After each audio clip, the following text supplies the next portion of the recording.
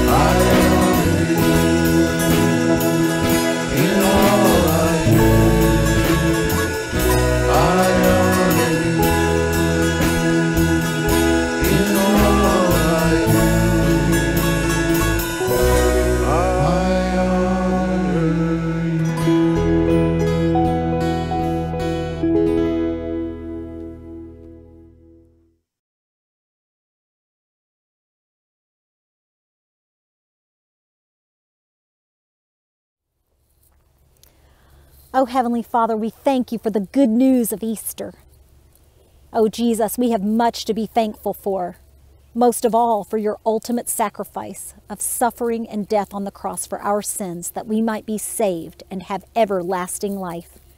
Thank you, Jesus. Thank you for the gift of Holy Spirit, the Spirit of truth. Lead us this day, Holy Spirit, into a deeper understanding of the matchless love of Jesus this indescribable, true, liberating, miraculous, abundant, compassionate, forgiving, gracious, overwhelming, perfect, restoring, remarkable, sacred, victorious love of God. This love that is for each and every one of us, no matter our differences or what we've done in our past. This love is for us all. This love is transforming. This is good news indeed. Let us share this love with all those who need this good news. Thank you, Lord, for your word. We can only imagine that first Easter morning when the women came to the tomb and the stone was rolled away. When the disciples saw the linen clothes in the tomb, John took one look and he believed. We can only imagine Mary's encounter with the angels, and then with Jesus as he called her name. And she said, My teacher. And then Mary ran and told the others, I have seen the Lord. We can only imagine Jesus appearing to them all, saying, Peace to you, and showing them the wounds on his hands and in his side. They were overjoyed to see the Lord Jesus with their own eyes risen we can only imagine, but we believe. And we thank you, Lord, for the best news ever. Christ is risen today. Amen. Calvary, let us pray the way Jesus taught us to pray. Our Father, who art in heaven, hallowed be thy name. Thy kingdom come, thy will be done on earth as it is in heaven. Give us this day our daily bread, and forgive us our trespasses, as we forgive those who trespass against us. And lead us not into temptation, but deliver us from evil. For thine is the kingdom, and the power, and the glory forever and ever. Amen. Happy Easter, Calvary! Christ is risen today.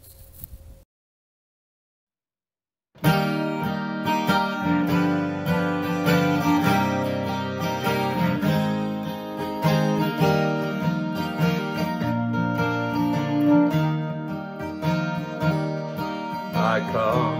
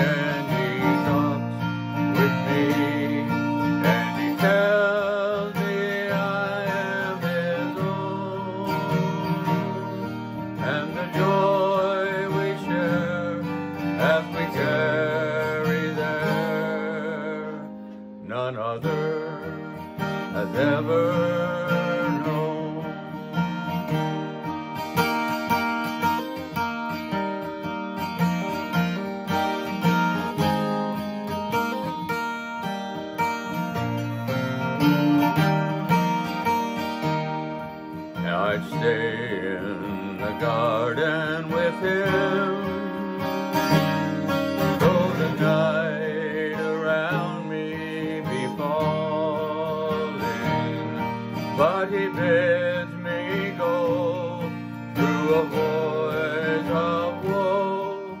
His voice to me is calling,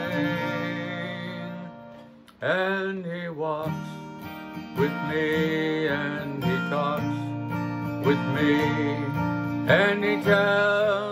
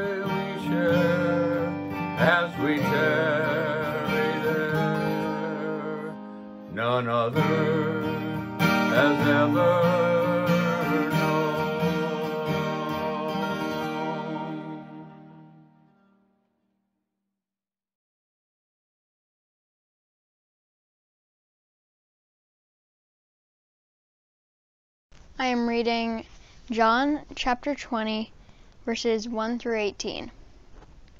Early on, the first day of the week, while it was still dark, Mary Magdalene went to the tomb and saw that the stone had been removed from the entrance. So she came running to Simon Peter and the other disciple, the one Jesus loved, and said, They have taken the Lord out of the tomb, and we don't know where they have put him. So Peter and the other disciple started for the tomb. Both were running, but the other disciple outran Peter and reached the tomb first. He bent over and looked in the strips of linen, the strips of linen lying there, but did not go in. Then Simon Peter came along behind him and went straight into the tomb.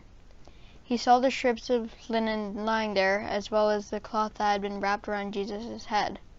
The cloth was still lying in its place, separate from the linen. Finally, the other disciple, who had reached the tomb first, also went inside. He saw and believed. They still did not understand from Scripture that Jesus had to rise back from the dead. Then the disciples went back to where they were staying. Now Mary stood outside the tomb, crying. As she wept, she bent over to look into the tomb and saw two angels in white, seated where Jesus' body had been, one at the head and the other at the foot. Then they asked her, Woman, why are you crying?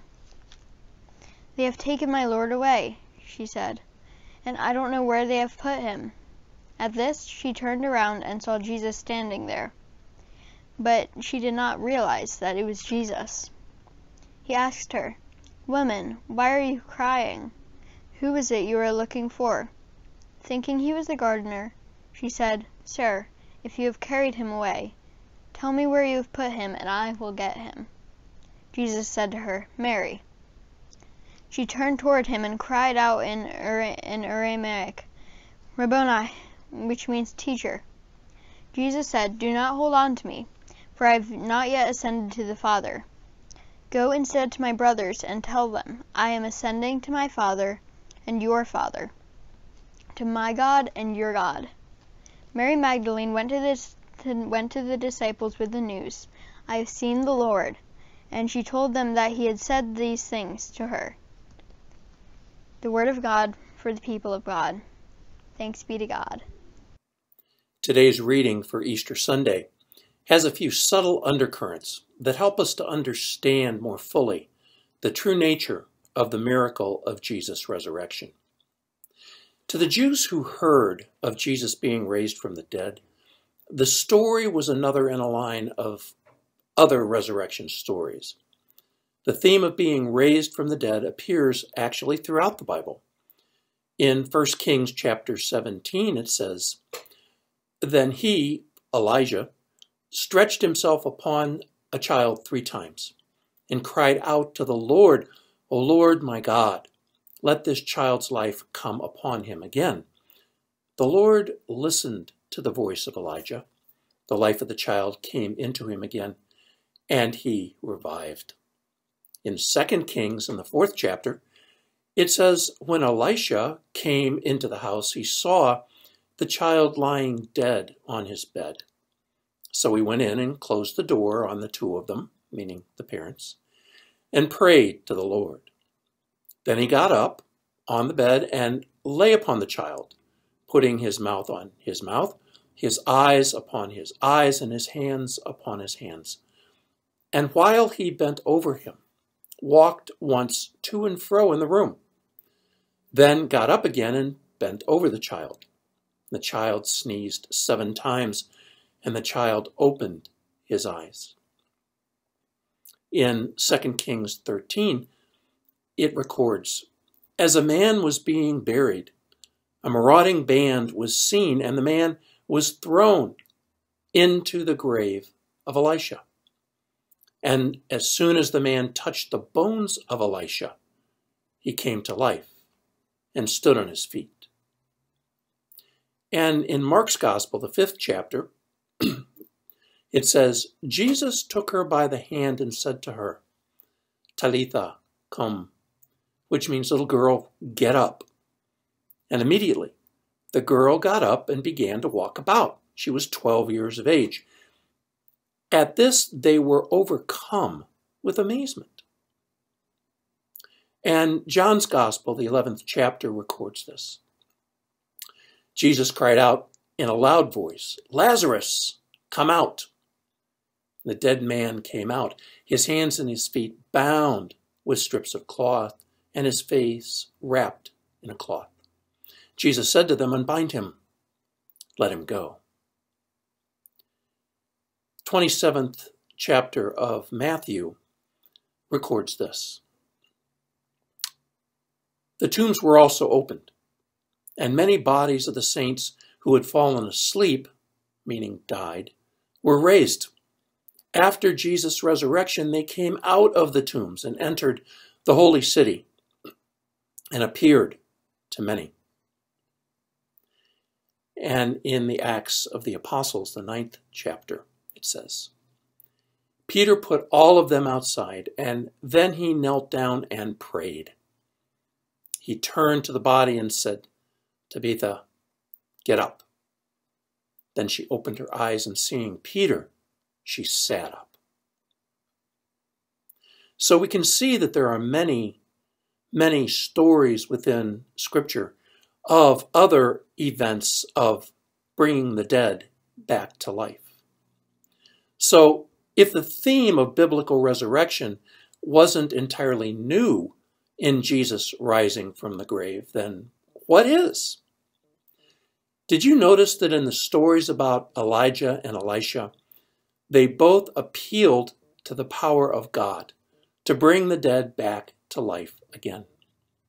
Jesus was raised from the dead by other parts of God through the recreative power of the Father and the sustaining breath of the Holy Spirit. Jesus' resurrection had such power that, according to Matthew, many of the saints of the Jewish faith were also raised from the dead. Peter raised from the dead after praying for power through the power of Jesus. God's resurrection power flowed through Elijah, Elisha, and Peter. They didn't generate this power themselves.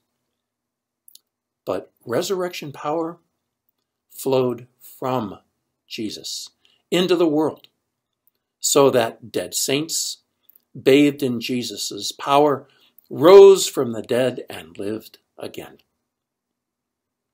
These Jewish followers of Jesus knew that resurrection power came from God. So when Jesus raised the little girl and Lazarus, calling them forth from the dead, without invoking God's power in prayer or word, they knew that the power of God resided within Jesus. We often think of resurrection power impacting us only after we've died in the flesh. the examples of God's resurrection power accomplished what was otherwise impossible, bringing back to life what had been dead. But in Jesus and in his resurrection, there is promise for new life within us before we die in the flesh. The resurrection power of Jesus brought life to those around him, rebirth from the pain and turmoil of the world that they knew, into the promise and the fullness of the kingdom of God.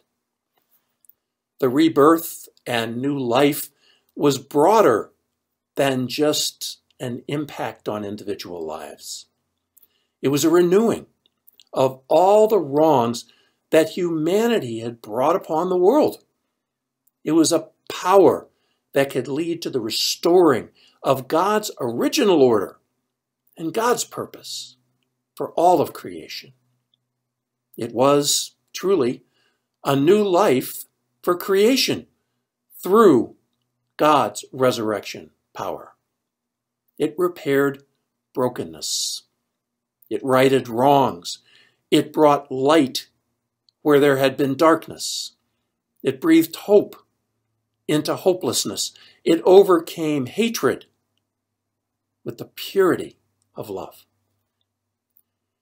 Jesus, raised from the dead, was the source of power to make all things new, providing the pathway back to the perfection of the Garden of Eden, resurrecting a world filled with joy and promise and love from what humanity had made it. Peter, a clueless coward, was renewed with wisdom and courage. Saul, a persecutor of Christ followers, was reborn as a defender of and evangelist for Jesus. And Thomas, who doubted Jesus' resurrection, went to India to witness for Jesus, performing many miracles in Jesus' name.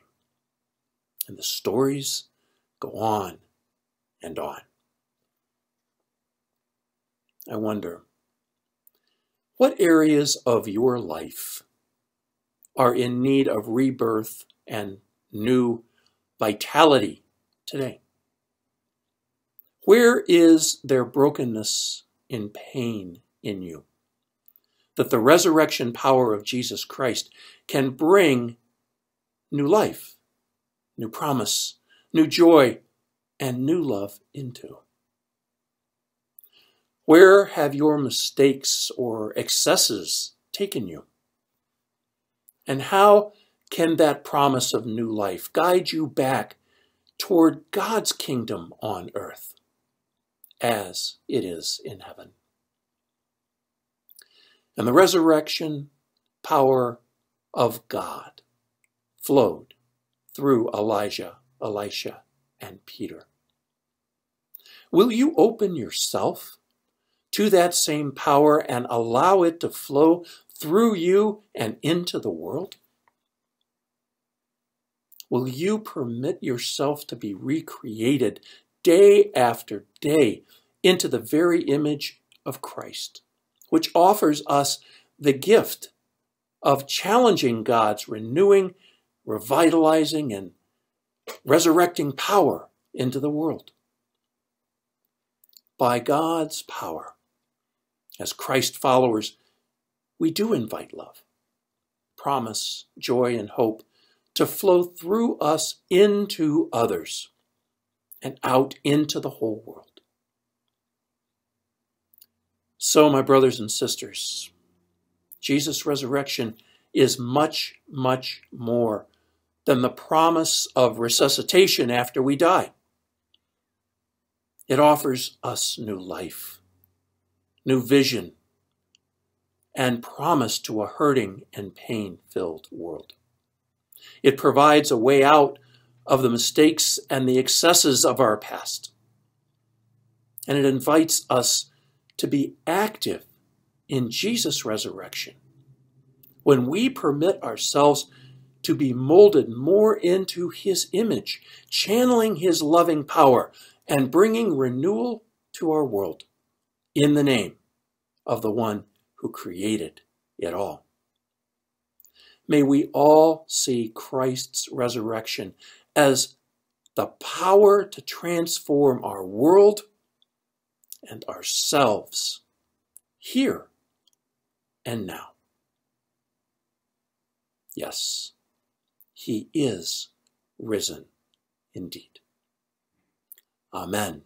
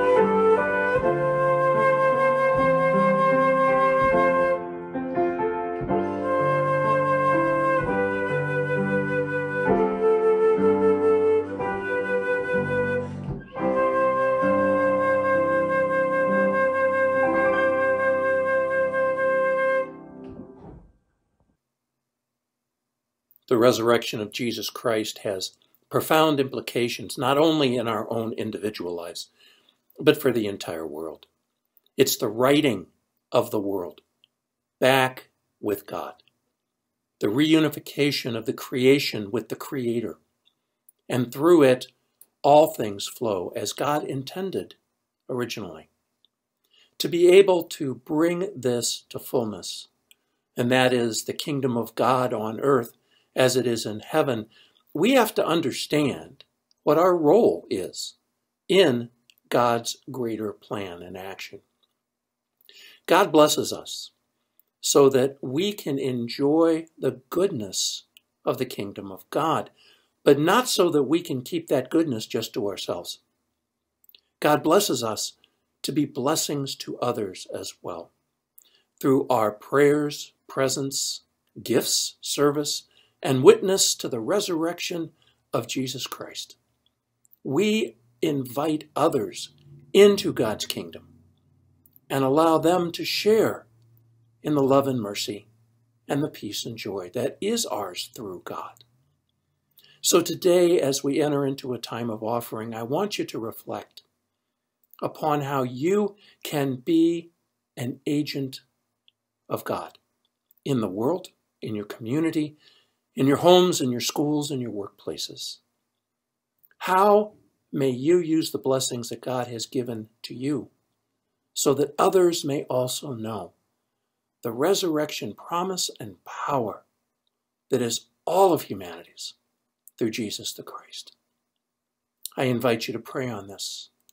And then I invite you to respond in a way that shows your gratitude for all that God has done for you and for others and for humanity and for the world.